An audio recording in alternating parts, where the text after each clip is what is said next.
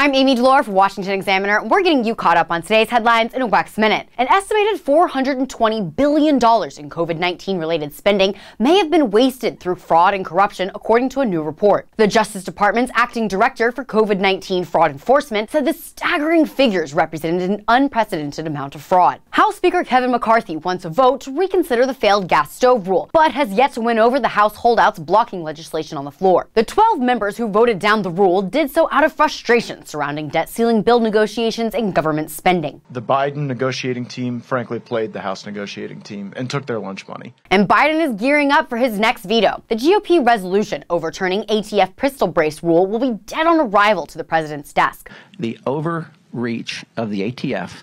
The ATF is trying to become Congress here and create a law that they don't have the authority to create. You can get the links to all of these stories down in the description below and at WashingtonExaminer.com.